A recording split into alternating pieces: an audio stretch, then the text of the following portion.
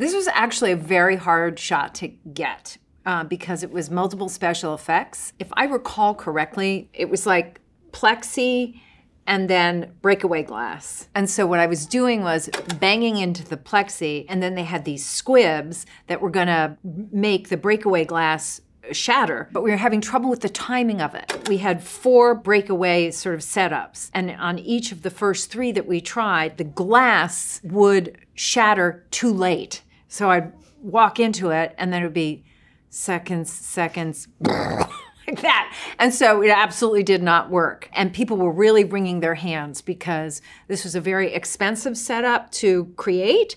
And we were on our final breakaway glass. And in this instance, it worked. Thank God.